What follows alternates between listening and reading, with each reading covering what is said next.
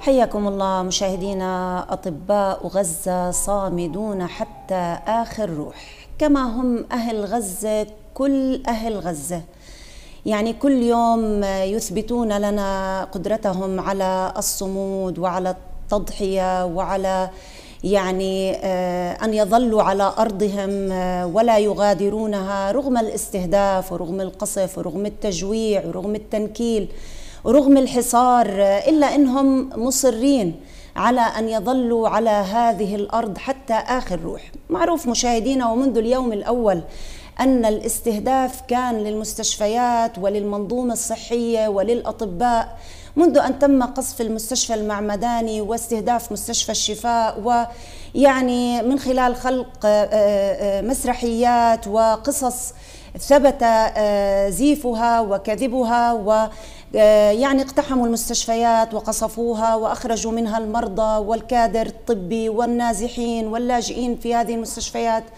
مشاهد لم نكن نتخيل ابدا أن نراها إلا أن هذا العدو الصهيوني المجرم آه، الضالع في حرب الإبادة والمجازر في غزة لا يستبعد عنه أي شيء. حول هالموضوع مشاهدينا ويعني لا يستطيع أحد أن يصف الوضع ويتحدث في هذا الموضوع إلا من هم في ذات الاختصاص ومن مارسوا الطب ويعلمون تماما حاجة الناس للأطباء وحاجة الأطباء لضمان أن تكون كل الإمكانيات متوافرة لكي يقدموا الخدمة للمرضى. هذا في الظروف العادية فما بالكم في حرب حرب شعواء على الكبير والصغير على المرأة والرجل على الكهل وعلى الطفل. هذه الحرب مشاهدينا التي استهدفت الأطباء بشكل خاص أطباء غزة آه، وحديث خاص مع الدكتورة زينب أبو عيشة استشارية أمراض النساء والولادة والعقم ورئيسة لجنة أطباء من أجل القدس في نقابة الأطباء. حياك الله يا دكتورة زينب. أهلا وسهلا. حياك الله. حياك الله. أهلا, أهلا وسهلا. دكتورة. يعني أنا حكيت مقدمة وسأترك لك المجال لكي تتحدثي في هذا الموضوع صراحة الموجع. الأطباء اللي هم الأصل يقدموا الإسعاف والمعونة نعم. ويمدوا يد المساعدة للناس هم نفسهم أصبحوا ضحايا ومستهدفون. هم مستهدفين أصلا. نعم. آه، أولا أنا أود أن أتكلم بالمقدمة أن ما يمر علينا من أحداث هو شيء لم يحصل منذ أن خلق الله البسيطة وما عليها. يعني لم يتخيل أنا كطبيبة لما تخرجنا من كلية الطب حلفنا يمين أننا سنعالج عدونا بإخلاص. يعني لو أنا إجاني في المستشفى يهودي رح أخلص في علاجه وكأنه أي شخص آخر. نعم. هذا يمين لأنها مهنة إنسانية. والأطباء المطلوب من الجميع أن يتعاون ويتعامل معهم بطريقة إنسانية لأنهم هم يعني سفراء الإنسانية ملائكة الرحمة هم اللي بكفكفوا الجروح المرضى هم اللي بيعالجوا الأمراض. يصير الطبيب مستهدف ويصير المستشفى ثكنة عسكرية. نعم. هذا شيء لم يمر على الإنسانية كلها. وإذا بتتذكري في بداية الأحداث أول ما تجرأوا على المستشفى المعمداني. صحيح. مستشفى تبشيري. نعم. آه, آه، يعني مسيحي حسب ديانة الغرب المسيحي. نعم. فهو كان جس نبض. إذا هذا مرق معناته كله رح يمرق. صحيح. وبايدن الخرف طلعوا شو حكى؟ قال الطرف الآخر هو المسؤول. نعم. طيب صرحوا قالوا الطرف الآخر هو المسؤول. يعني اليهود معهمش خبر. نعم. بعدين فاجأنا إنه الشفاء استهدف بعدين كمال عدوان استهدف. كل المشافي أصبحت مستهدفة كل المراكز الصحية مستهدفة. لا وبل الأطباء استشهدوا المسعفين استشهدوا. سيارات الإسعاف سيارات الإسعاف قصفت كل شيء طبي كان مستهدف. هذا دليل على أنه هذا المستعمر العدو الهمجي المتسلط الغاشم النازي هو يقصد كسر إرادة الإنسان بكسر الآمال في البقاء في هذه الأرض. لأنه لما الجريح يلاقي أنه الطبيب استشهد أو المستشفى اتدمر أو تخيلي عدائهم هو قسم الولادة بالتحديد. صحيح. قسم الولادة يحولوه في كل مستشفى بيدخلوه إلى ثكنه عسكرية. يا عمي مين بده يطلع من قسم الولادة؟ والمقاومة نحن على ثقة أنهم رجال. الرجل في المقاوم مستحيل لو مرته في قسم الولادة ما بيدخل. نعم. فكيف بدك يدخل المقاوم في قسم الولادة؟ فيعني هذا دليل على إنهم اولا بيستغبوا على العالم كلياته اتهاماتهم كلها باطلة. نعم. إحنا بنتعامل مع قضيتنا بعقيدة راسخة أن منصورون وإحنا أصحاب حق ورح ننتصر عليهم. بإذن وهم الله. بيتعاملوا بمنتهى الحقارة. نعم. في كل الموازين في كل ال في كل الأبعاد إذا أنت بتتفرجي وبتشوفي الواقع الحالي وللأسف الشديد العالم العالم ليس متغابي.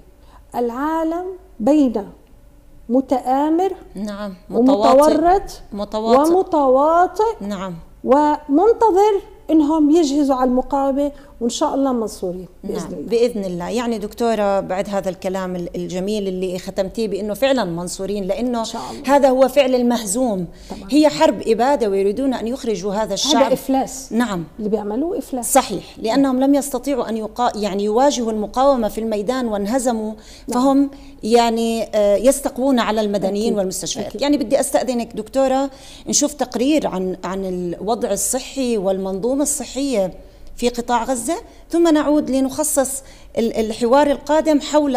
الأطباء واستهدافهم والمستشفيات. إذا لنشاهد مشاهدينا هذا التقرير ونعود لحوارنا مع الدكتورة زينب أبو عيشة.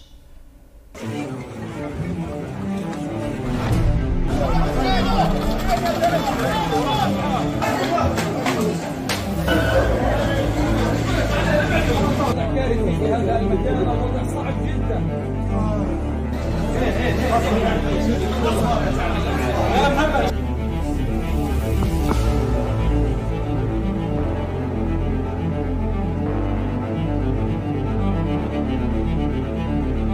And and if I go, who treats my patients? We are not animals. We have the right to receive proper health care.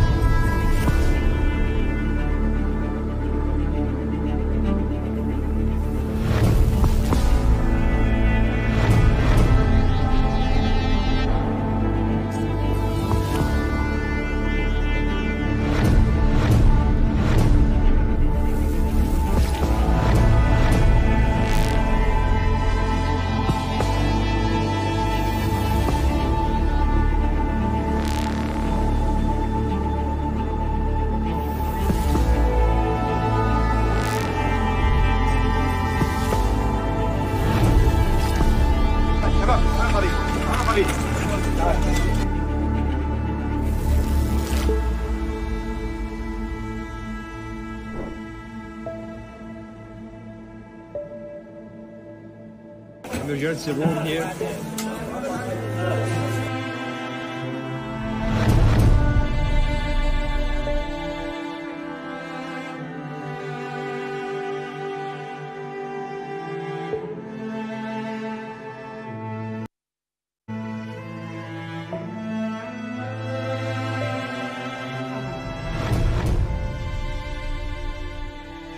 يعني مشاهدينا يمكن هذا التقرير كمان بعد إعداد هذا التقرير كان في استهداف لعدد من المستشفيات ليبقى عدد قليل منها فقط يعمل ومع الحصار وقلة الدواء وقلة الإمكانيات أيضا هذه المستشفيات تعمل بأقل يعني طاقة لها دكتورة حول هالتقرير وهذه طبعا الأوضاع. هذا التقرير كما تحدثتي يعني هو في بداية الحرب.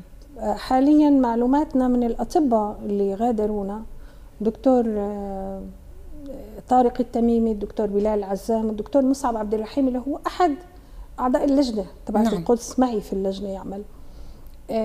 تحاورت معهم جميعا. تحاورت مع الدكتور طارق التميمي أخصائي العظام والمفاصل وراح هناك مشكور ومأجور.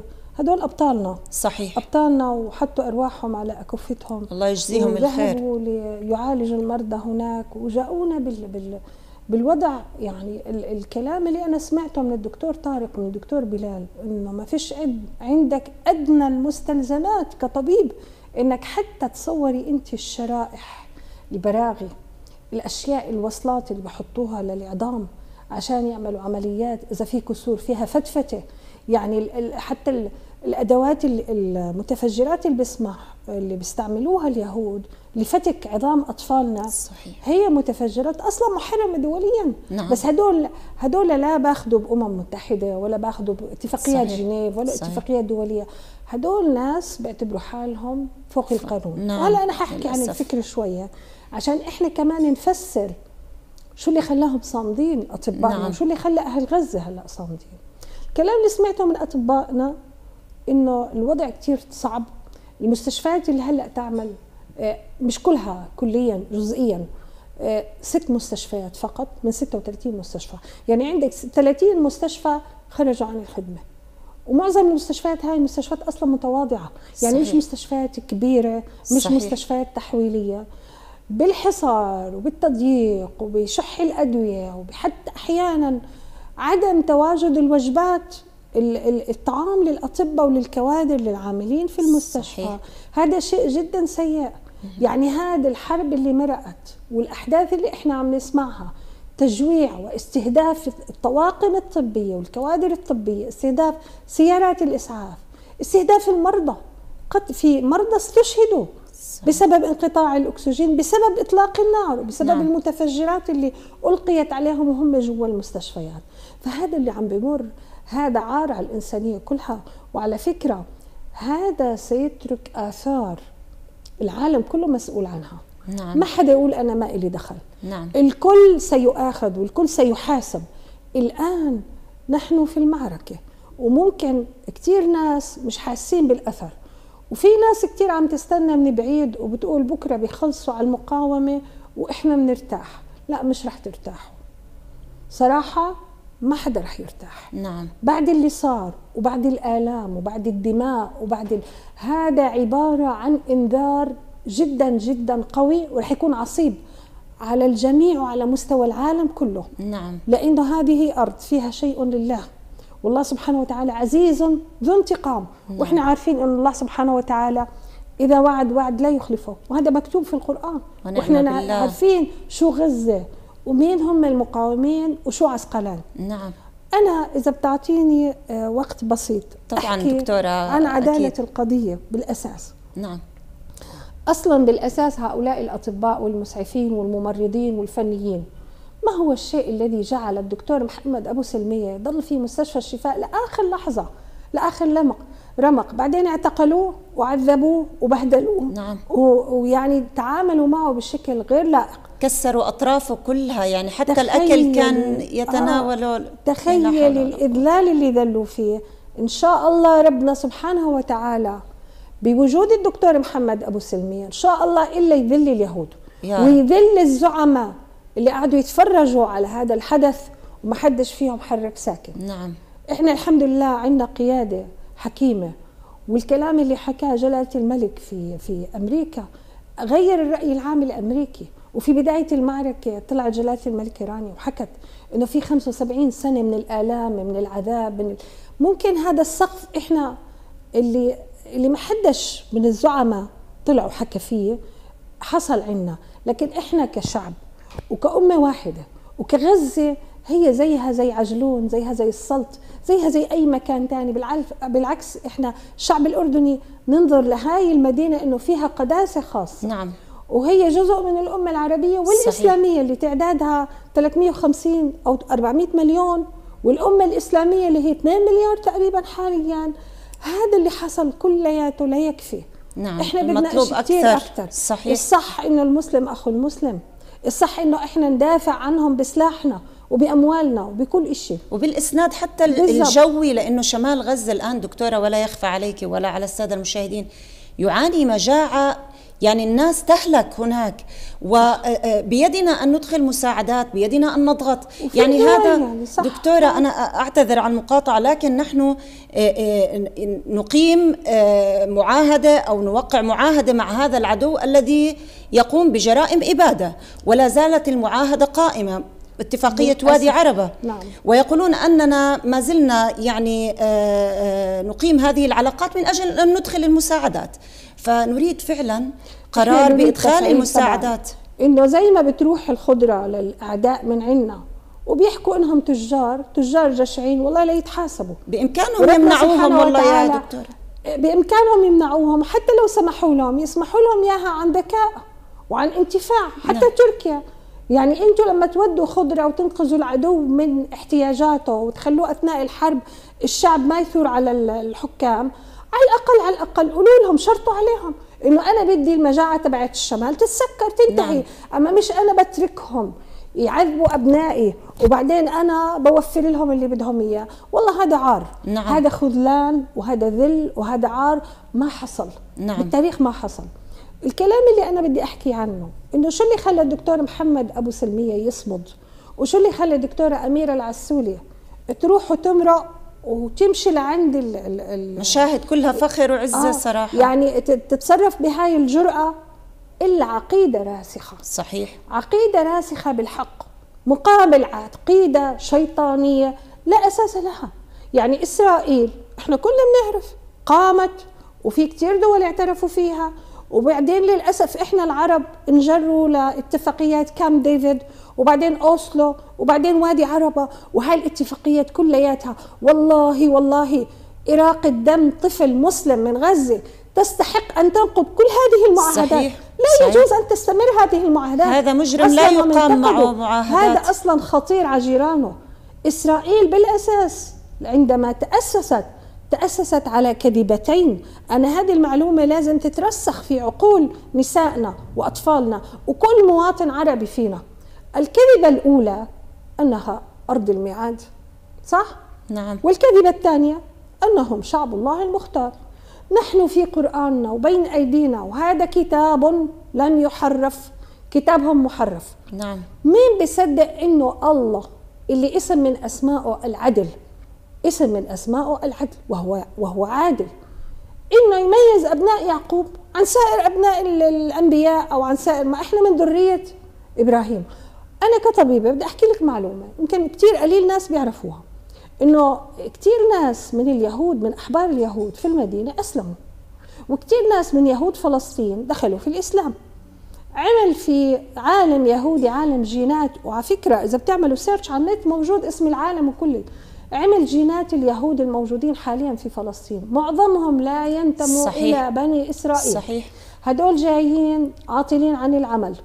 ناس قاعدين عايشين حياة كتير بسيطة في أوروبا بيطمعوهم إنه في لكم بيوت في بندفع عنكم مي بندفع عنكم كهرباء وأسكنوا هاي المستوطنات جاهزة. لمم هم لمم مأمنين مأمنين وارذل أرذل ما خلق الله. نعم. يعني أنا بعرف من قرايبي في إلي أولادي عمومه وأهل في الخليل ولحتى بالذات مدينة الخليل أو أوسخ مستوطنين على وجه الأرض موجودين نعم فيها نعم يعني ناس همج ناس ممكن يأذوا شذاذ الآفاق آه. لموهم والله يا بالزبط. دكتورة وجابوهم على فلسطين. الثانية اللي بدي أحكيها إنه هم تأسسوا على كذبتين وهدول الكذبتين إحنا ودكتور أميرة والدكتور محمد عارفين إنه ربنا في سورة البقرة لما حكى الآية الكريمة اللي بتحكي عن تمكين أو استخلاف إبراهيم في الأرض اللي إحنا العرب من أبناء إبراهيم. نعم. وإحنا عندنا دولة بيحكمها هاشميين من نسل الرسول عليه الصلاة والسلام من أبناء إسماعيل صحيح؟ نعم. لما ربنا شو قال في القرآن؟ قال وإذ ابتلى إبراهيم ربه بكلمات فأتمهن. نعم. قال إني جاعلك بالأرض إماما. للناس إماما. قال للناس إماما. نعم. قال ومن ذريتي. قال, قال لا ينال عهد الظالمين. صحيح. هاي واحد. اثنين ثاني وحدة. في سورة الأنبياء ولقد كتبنا في الزبور من بعد الذكر أن الأرض يرثها, عبادي. الصالحون. صحيح صحيح. ثلاثة إن أكرمكم عند الله أتقاكم. نعم. معناته هذه الحجة إنها أرض الميعاد لا يرثها عبادي الصالحون. نعم. وإنه هدول شعب الله المختار لا لا ينالوا عهد الظالمين. هم ظالمين والأرض مش إلهم. نعم. والله سبحانه وتعالى ببعثة الرسول عليه الصلاة, عليه والسلام, الصلاة والسلام. شو قال عنهم مغضوب عليهم. صحيح. وإحنا في كل صلاة بنقول غير المغضوب عليهم ولا الضالين. نعم. فأنتوا يا بني إسرائيل أنتم مغضوب عليكم. أنتم لستم شعب الله المختار. وهذه الأرض هي أرضنا من يوم الف... من يوم الإسراء والمعراج. صحيح. هي أرض الأنبياء والمستخلف فيها محمد عليه أفضل عليه الصلاة, الصلاة والسلام. هذا يعني الفكر اللي عند الدكتور محمد. وهذا فكر الدكتورة أميرة وهذا فكر الدكتورة زينب. نعم. هذا فكر نقيب الأطباء هذا فكر مجلس النقابة هذا فكر الجميع. ما بتقدروا تدمروا هاي الأفكار. نعم. وابني والطفل اللي بيجي على إيدي بدي أدرسه هاي الجملة وأفهمهم. جميل. أنتم لستم شعب الله المختار. هذه عقيدة هذا الشعب. أنتم لستم وهذه ليست أرض الميعاد. نعم. الأرض أرضنا. ونحن عندنا عقيدة. إنه نعم. هو الأتقى هو الأقرب وهو الموكل بالحكم عند الله سبحانه وتعالى. جميل. دكتورة يعني مع جمال هالكلام اللي عم تتفضلي فيه لكن الوقت انتهى. وإن شاء الله هيك يكون لنا استضافات قادمة. ونستضيفك بعد أن يتحقق النصر ويتم رب العالمين النصر إن شاء الله وتنتهي هذه الحرب الإجرامية حرب الإبادة على أهلنا في غزة. أنا بدي أشكرك. جزيل الشكر. بس بدي أعطي بس هيك دقيقة سريعا لأنه المخرج عم بيحكي لي انتهى الوقت. الحرب لم تنتهي. لا يجوز أن نفتر علينا جميل. ان نحشد علينا أن نقاطع نعم. علينا أن نتذكر في كل يوم إعلام مسيرات توفير جميل. جميل. ادخار جميل. في كل المحاور علينا أن نعمل من أجل تحرير ومن أجل مساعدة الإنسان في غزة اللي عم بدافع عن كرامة امه جمعاء صحيح إن شاء الله صحيح. ربنا يكتب أجرنا وما يجعلنا مع المتخاذلين يا رب الله. اللهم آمين كل الشكر لك آه،. الدكتورة زينب أبو عيشه على هذا الكلام الجميل الطيب ورسالتك إن شاء الله يا رب آه، توصل للناس ونكون فعلا كلنا إحنا متضامنين متفاعلين نقدم أقصى طاقتنا ولا نكتفي فقط بالمراقبة والمشاهدة والبكاء ويعني فقط الدعاء على أهميته لا بدنا نتفاعل وبدنا نقدم لأننا مسؤولون نستطيع نعم. إن شاء الله وهذه هذا طوفان الأقصى كان من أجل الأقصى نعم. في كل صلاة يجب علينا أن ندعي أن يرزقنا الله صلاة في يا. المسجد الأقصى اللهم محررا آمين. بإذن الله قريبا يا رب إحنا وياك يا عاجلاً دكتور ليس آجلاً إن شاء الله والمشاهدين الكرام. اذا شكرا جزيلا الدكتورة زينب أبو عيشه استشارية أمراض النساء والولادة والعقم رئيسة لجنة أطباء من أجل القدس في نقابة الأطباء وكنت ضيفتنا في حوار حول أطباء غزة صامدون حتى آخر روح وسيبقون إن شاء الله إن شاء الله. صامدين شكرا. جزيلا مشاهدينا سنكون بعد فاصل قصير مع الفعاليات التي سندعو حضراتكم للمشاركة فيها وبعض الفعاليات التي تمت في الأردن وخارج الأردن. فاصل قصير وسنعود. خليكم معنا.